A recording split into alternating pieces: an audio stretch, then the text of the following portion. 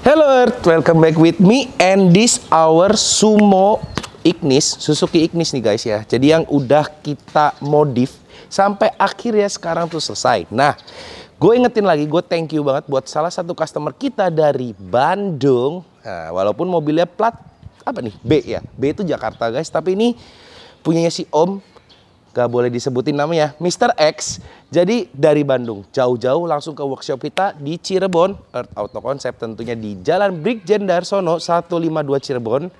Dan membawa mobil ini tuh yang ibaratkan mobil kesayangan buat dia kerja guys. Oke, untuk speknya apa aja, gue langsung aja jelasin ke kalian secara eksterior, kayak kaki dari samping, dari belakang sampai kalian lihat sendiri apa aja yang udah kita lakukan untuk Ignis dari Bandung satu ini. Oke, yang pertama kalau kalian lihat tentunya kalau dari wilayah eksterior guys, kalau eksterior ini kalian bisa melihat merah-merah merona yang gue bisa bilang ini adalah ramuan cat khusus dari kita at Earth underscore premium yang tentunya kode namanya adalah Hyper Red Candy. Jadi Mungkin ada di vlog sebelumnya juga ada salah satu unit Vespa garapan kita di sini juga yang udah disemprotkan alias di rebuild warnanya dengan warna ini.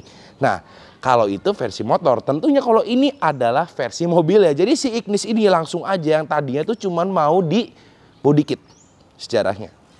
Sampai akhirnya entah mengapa dan mengapa terjadilah akhirnya warna seperti ini. Dan tentunya Gue bisa ingetin ke kalian juga buat kalian yang suka sama kepo kerjaan chat kita di sini. Unit restorasi kalian boleh langsung aja cek Instagramnya at earth underscore premium. Yang tentunya kita di sini menaruh warna candy. Yang membuat ini efeknya tuh kayak permen relaksa guys ya. Kalau kalian perhatikan baik-baik. Dan tentunya kalau dari restorasi yang kita lakukan juga dan pengecatan yang sampai wilayah sela-sela dalam semua dan Ditambah lagi dengan body kit signature dari Earth Auto Concept sendiri. Ini adalah body kit mass production kita Earth Sumo Ignis versi R. Nah, jadi kita di sini ada dua pilihan. Ada yang versi biasa, ada yang versi R. Tentunya perbedaannya apa? Kalau versi R itu kalian sudah bisa mendapatkan knalpot bolt on muffler di wilayah tengah, nanti mungkin gue akan tunjukin di wilayah belakang. Dan tentunya juga ada splitter depan dan diffuser belakang untuk rumah-rumahan knalpot ya. Jadi kalian boleh cek aja semua produk massal dari kita di sini karena kita siap kirim ke mana pun kalian berada. Jadi langsung aja DM Instagram at earth underscore garage and store. Oke, mungkin kalau ini gue kasih tahu karena modifannya ini menurut gue yang bisa dibilang totalitas parah. Karena sampai warna aja yang tadinya tuh ini mobil datang berwarna oren-oren merah kalau standar Suzuki. Jadi ini udah candy guys, oke? Okay? Dan tentunya kalau kalian mau lihat lagi kayak kakinya pakai apa, gua akan geser kameranya buat kalian saksikan. Let's go guys. Oke okay guys, jadi ini wilayah samping ke agak belakang. Kalau kalian bisa lihat juga sebelum gue present ngasih tahu ini ukuran kayak kaki, kalian bisa lihat perbedaannya warna candy yang kita bikinkan ke si Hyper Red Sumo R ini. Jadi ini wilayah pantulan yang kami emang sengaja cari lokasi buat present yang ibarat ada atapnya tapi bolong-bolong. Jadi ada cahaya sedikit tembus dan kalian bisa langsung membedakan wilayah mana yang kalau kalian tuh bisa berjalan di siang bolong nih kayak sekarang lagi panas banget walaupun mesin hujan dan malam hari. Jadi kalau siang banget ini warnanya tuh bener-bener kayak merah krum guys. Jadi keren banget, deep banget dan tentunya wet banget. Dan gak ketinggalan lupa karena warnanya udah oke okay banget nih guys. Kemarin karena sang owner juga puas banget dengan garapan warna yang kita lakukan, langsung aja kita sendiri juga di at earth underscore premium bisa mengerjakan nano coating. Nah, gunanya nano coating itu untuk apa? Karena ini adalah banyak banget pertanyaan yang sudah terjadi via DM kita di sini. Jadi, yang pertama kegunaan nano coating adalah anti scratch, guys. Anti scratch itu apa? Anti gores.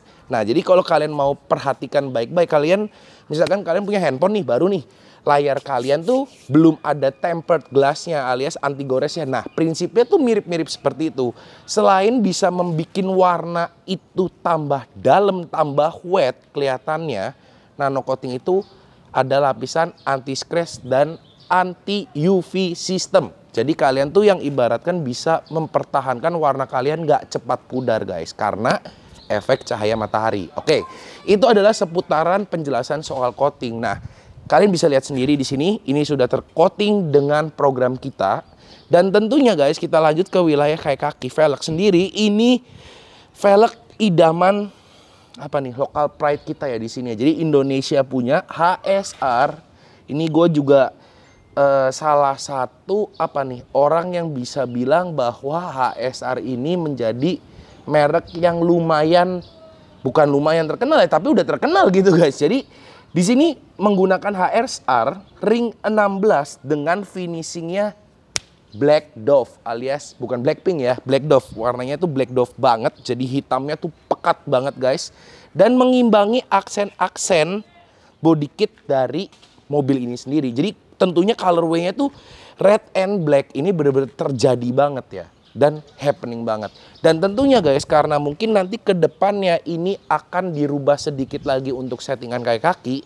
Karena ini mobil mungkin entah bannya yang mau diganti atau enggak setting kayak kaki lagi ke gaya modifikasi selanjutnya. Jadi ini kayak kaki sementaraan untuk mau dibalikan kembali ke sang owner di Bandung. Mudah-mudahan sang owner juga puas banget dengan garapan kita di sini dan tentunya gue juga kasih tahu kalian bahwa ya kalian boleh aja cek aja langsung 24 jam chat kita karena kita sekarang udah ada admin yang siap sedia 24 jam menghadapi pertanyaan-pertanyaan dari kalian. So, tenang aja, nggak usah khawatir lagi. Dan tentunya gue akan kasih tunjuk sekarang ke wilayah belakangnya guys. Let's go. Oke okay guys, sekarang udah balik lagi ke wilayah sedikit belakang. Nah, sebelum gue present di wilayah belakang, gue akan kasih tahu ke kalian bahwa ini adalah hasil chat dari kita mengenai wilayah persela-selaan mobil kalian. Jadi, ya mungkin ada di vlog-vlog sebelumnya, gue selalu edukasi soal pengecetan. Apa yang kita lakukan di sini? Yang pertama tentunya kita lepasin semua door trim, karet-karet kaca, sampai kacanya kita lepasin semua. Dan tentunya pilar-pilar dalam guys, kalian nggak usah khawatir-khawatir tanya, Bang kalau di Earth ngecat tuh sampai dalam-dalam nggak? Tentunya kita ngecat sampai wilayah dalam. Jadi bukan cuman ke wilayah apa ya, body-body yang kelihatan kasat mata, yang kelihatan banget yang kita cat, tapi bener-bener sampai konstruksi dalamnya pun kita juga cat. Dan tentunya buat ke kalian nih, ke depannya mau nanya-nanya juga masalah repaint. Boleh nggak sih kok kalau di sana turunin mesinnya? Boleh Gue cuma bisa bilang boleh. Atau kalian kalau mau turunin mesinnya dulu, baru kirim mobilnya ke kita. Dan selesai itu kalian bisa kirim mobilnya beserta yang sudah dipasang mesinnya langsung ke bengkel kita untuk proses detailing. Jadi itu kita bisa obrolkan. Makanya kalau kalian kepo-kepo jangan ragu-ragu lagi, jangan malu-malu lagi. Kalian langsung boleh cek Instagram kita at earth underscore premium. Oke okay, guys? Dan tentunya Duh, ini gue sampai nggak berani sendiri megang body ya nih karena ini eman banget sih, bukan eman ya. Jadi, aduh, halus banget guys, parah.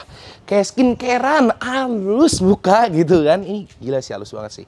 Jadi, gue kasih tahu juga ini adalah perbedaan dari uh, mobil yang sudah terpasang dengan versi R Sumo Ignis kita. Jadi ini knalpot bikinan kita sendiri nih guys. Ini bolt on tanpa merusak konstruksi ori dari knalpot kalian. Cukup membuka dua baut, kita ganti segelondong. Bukan gelondong sampai downpipe depan, enggak. Tapi belakangnya aja alias C pipe, C pipe. Jadi ujungnya aja kita ganti. Dan tentunya ini perbedaan yang kedua nih. Jadi ini adalah diffuser untuk rumah-rumahan knalpot di wilayah tengah. Dan tentunya kalau menurut gua ini bentuknya udah proper banget dan padet banget.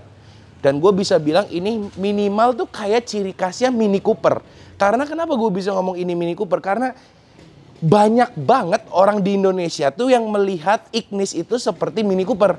Correct me if I'm wrong. Tapi menurut persepsi gue tuh seperti itu gitu guys. Yang sampai akhirnya ini mobil kayaknya lucu banget dan sampai terpasang knalpotnya di wilayah tengah. Kalian boleh komen aja di bawah menurut kalian modifan seperti ini simple, eksotis guys. Gue bisa kenapa ngomong eksotis karena ini warnanya tuh yang bener-bener seksi banget guys. Kalian kalau ngelihat asli warnanya wah amazing banget guys. Ini basah banget, kilap banget dan warna merahnya pun padet parah sih guys. Jadi mudah-mudahan ini benar-benar yang sudah bisa mengasih tahu kalian bahwa pengecetan kita di At Earth Premium hasilnya seperti ini. Oke, kita kembali sebelum closing ke wilayah depan. Let's go guys.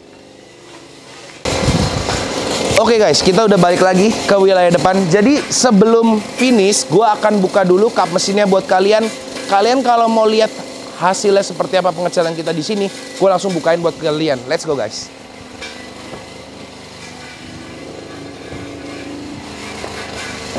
Nah, ini dia nih guys. Jadi yang sebelum-sebelumnya pada nanya, "Bang, kalau emangnya mesin itu gak diturunin, hasil cetannya tuh akan seperti apa di mobil ya?" Kita kasih tahu guys. Nih. Oke. Jadi sebenarnya kalau di posisi kalian ini mungkin nggak bisa terlalu jelas karena gue abis ini akan rekamin footage-nya detailnya seperti apa. Yang jelas satu, ini kecat semua guys ke wilayah bawah kap mesin itu semua kita cat karena ini tadinya kita lepasin satu persatu sampai ini belum kepasang dengan benar.